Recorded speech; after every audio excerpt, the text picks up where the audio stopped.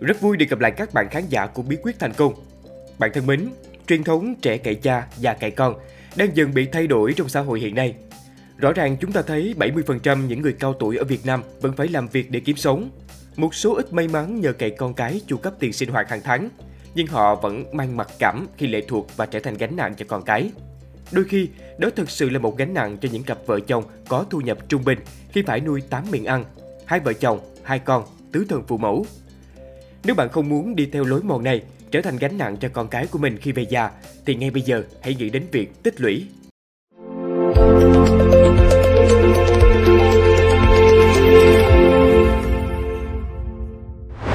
Một, vì sao cần phải tích lũy? Hẳn là bạn vẫn còn nhớ đến hoàn cảnh lao đao của nhiều người khi đại dịch Covid xảy ra và đất nước phải lockdown. Và hậu quả sau trận đại dịch này chính là tình hình lạm phát. Nhiều công ty sa thải nhân viên do không có đơn hàng diễn ra vào cuối năm 2022.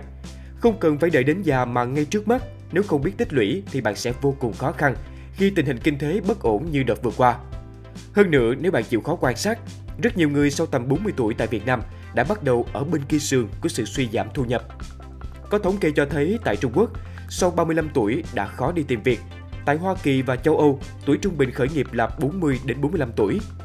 Bạn có bao giờ tự hỏi, tại sao sau 35 hay 40 tuổi lại khó đi xin việc?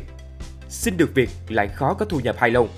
Tại sao 40 hay 45 tuổi người ta bắt đầu khởi nghiệp và làm sao để vẫn có thu nhập như ý hay khởi nghiệp thành công? Trong khóa học Wealth Intelligence, ông Phan Lê Thành Long, CEO của AFA Group, có chia sẻ về tháp xây dựng tài sản và nền tảng của việc xây dựng tài sản đó là tài sản vô hình. Ông Phan Long có chia sẻ, 5 năm đầu tiên đi làm việc là làm việc để học hỏi và trong quá trình làm việc, quý bạn phải xây lớp tài sản vô hình. Tài sản đó là thương hiệu cá nhân, tài sản gắn liền với tên tuổi và uy tín của bản thân. Chức vụ khi đi làm, công ty sẽ cho bạn, họ cho được, họ lấy lại được. Riêng tài sản vô hình của bạn thì luôn theo đuổi bạn trọn đời. Tuần tự các bạn sẽ biết lớp tài sản bao gồm một Lớp tài sản vô hình 2. Lớp tài sản bảo vệ 3. Lớp tài sản tạo thu nhập 4. Lớp tài sản tăng trưởng 5. Lớp tài sản rủi ro Việc xây dựng thành công lớp tài sản vô hình sẽ giúp bạn tạo dựng thương hiệu và thu nhập bền vững trong mọi tình huống biến đổi của cá nhân hay xã hội. Vậy tài sản vô hình là gì? Đó chính là kiến thức và kỹ năng của bạn. Hai loại tài sản nên tích lũy trong năm 2023. 1. Kiến thức từ lâu thước đo giá trị con người đã không còn được tính là những vật chất ngoài thân như vàng bạc, nhà cửa, xe cộ. Đây chỉ là những thứ hào nhoáng xa hoa của những người giàu, thứ mà có thể chỉ sau một đêm sẽ bị thổi sạch, không cánh mà bay. Chỉ có duy nhất một điều còn tồn tại mãi đó là kiến thức. Kiến thức của mỗi người là của khác. Nó thể hiện chính bản thân của bạn, chỉ thêm chứ không bớt và mãi mãi không thể tách rời khỏi bản thể. Tuy nhiên, khá nhiều người vẫn không hiểu được điều này kiến thức càng uyên thâm thì giá trị của một người lại càng được khẳng định. Có những người làm lâu trong một công ty nhưng mức lương không tăng lên được, nhưng có những người mới vào thì lương của họ lại cao hơn người cũ. Con đường thăng quan tiến chức lại nhanh chóng. Sự khác biệt ở đây chính là kiến thức, kỹ năng của người đó. Hơn nữa, trong thời đại công nghệ số, mọi thứ thay đổi và phát triển rất nhanh. Nếu bạn không tích lũy kiến thức cho mình mỗi ngày, bạn sẽ dễ bị tụt hậu và không thể được trả mức lương như mong đợi. Còn nếu bạn muốn đầu tư, kinh doanh để đổi đời, để làm giàu nhưng không có đủ kiến thức thì bạn sẽ bị thảm bại và còn nghèo hơn ban đầu. Cho nên, nhiều thị trường có nhiều kênh đầu tư tài chính để làm giàu, nhưng bạn đừng quên đầu tư cho não bộ của mình. Bạn càng có nhiều hiểu biết, càng mang đến nhiều giá trị cho xã hội thì bạn sẽ trả được số tiền xứng đáng. Có kiến thức sẵn được tích lũy thì bằng cách này hay cách khác cũng sẽ kiếm được tiền. Tuy nhiên đổi lại, tiền bạc không bao giờ mua nổi kiến thức, không bao giờ khiến bản thân mỗi người được tôn trọng, được đề cao. Có tiền mà không am hiểu kiến thức thì tài sản cũng bị sớm chôn vùi và cũng không có cách nào có thể kiếm lại được. Bởi vậy, tích lũy kiến thức chính là làm giàu cho bản thân, là điều mà ai cũng có thể làm được. Tuy nhiên, quá trình thực hiện của mỗi cá nhân sẽ không giống nhau, tùy theo khả năng tiếp thu mà trong cùng khoảng thời gian bạn có thể nhận được nhiều hay ít, hiệu quả hay không. Kiến thức được tích lũy từ đâu? Nguồn kiến thức thì vô tận, chỉ là bạn có biết nơi để lấy và có kiên trì để tích lũy nó hay không. Tích lũy kiến thức từ sách vở Đầu tiên, kiến thức được tổng hợp từ sách vở là kiến thức chung của xã hội, được truyền lại cho tất cả mọi người với nội dung như nhau. Đây là những gì bạn học được từ 12 năm ngồi trên ghế nhà trường, là những tư duy phổ thông mà ai cũng cần thiết, là nền tảng để có thể tiếp tục học cao hơn. Thời gian học đại học, cao đẳng, trung cấp học nghề là để bạn có thể tích lũy kiến thức chuyên môn. Hết 12 năm thì mỗi người sẽ tìm được điểm mạnh của mình, định hướng lối đi cho riêng mình và bắt đầu chọn lựa những ngã rẽ cuộc đời. Đây là thời điểm lựa chọn ngành học tùy theo sở thích và sở trường. Bạn thích làm bác sĩ, kỹ sư, giáo viên, công an hay học một nghề mà mình yêu thích thì sẽ có sự lựa chọn phù hợp. Tại trường học, bạn sẽ được cung cấp những điều liên quan đến lựa chọn của mình. Đây chính là lúc mỗi cá nhân cần phải cố gắng, cần bứt phá để tiếp thu tối đa những gì được học. Vì điều đó liên quan mật thiết đến công việc, đến khả năng cống hiến và quyết định giá trị của bạn sau này. Tích lũy kiến thức từ thực tiễn cuộc sống. Bên cạnh đó, thực tiễn cuộc sống cũng sẽ mang lại cho bạn rất nhiều kiến thức hữu ích. Trong quá trình làm việc, áp dụng những vấn đề liên quan đến chuyên môn vào thực tế thì sẽ có nhiều điều phát sinh. Đây là cơ hội để bạn kiểm định lại những gì được học ở trường lớp vào công việc thực tế và rút ra được những bài học cho chính bản thân mình. Bởi lẽ sẽ có những lý thuyết không thể áp dụng vào thực tế. Việc quá cứng nhắc khiến bản thân sẽ bị thui chột sức sáng tạo, không biết được những điều mới.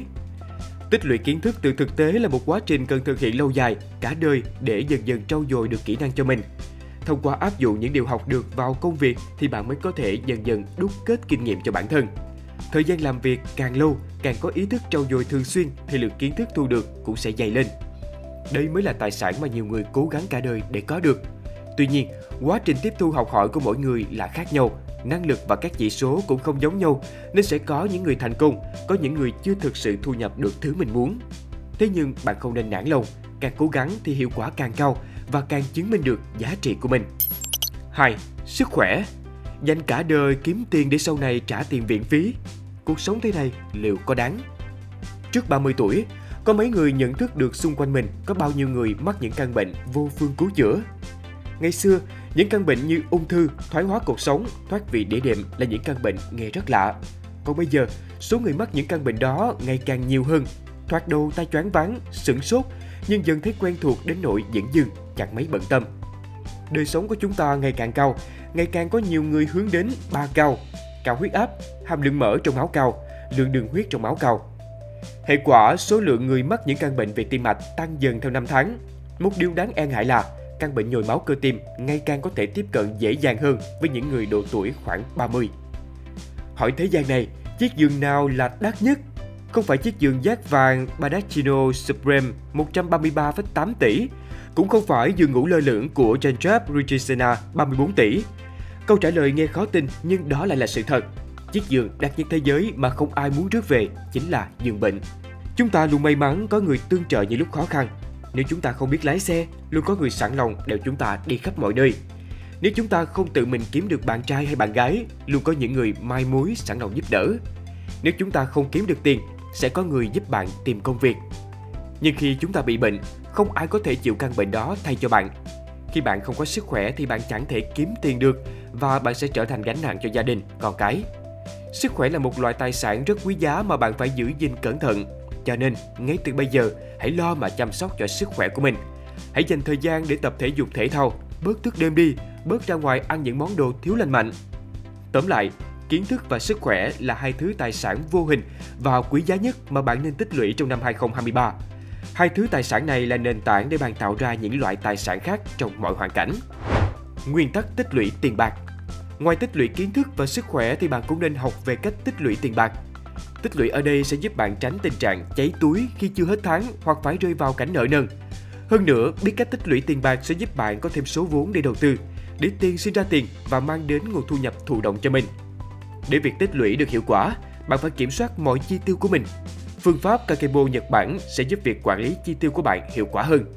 Tích lũy tiền hiệu quả với phương pháp Kakebo trong 5 bước. Bước 1.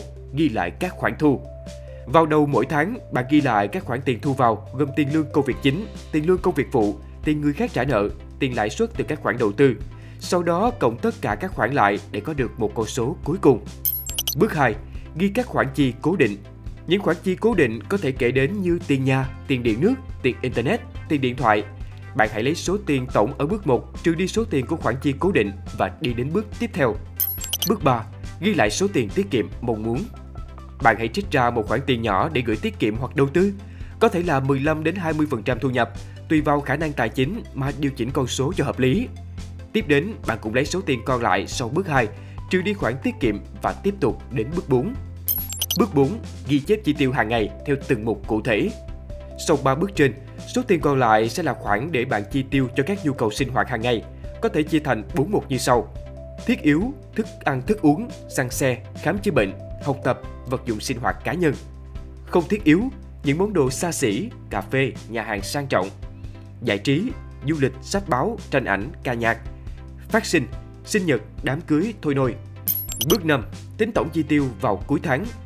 Vào cuối tháng, bạn tính tổng số tiền đã sử dụng và đánh giá xem mình có chi tiêu vượt quá số tiền đã xác định ở đầu tháng hay không. Nếu có, bạn cần kiểm tra một chi tiêu nào mình dùng nhiều nhất. Trường hợp rơi vào các mục không thiết yếu hoặc giải trí thì nên điều chỉnh lại trong tháng tiếp theo. Lưu ý khi thực hiện Kakebo Khi thực hiện phương pháp Kakebo, bạn cần chú ý một vài điều sau.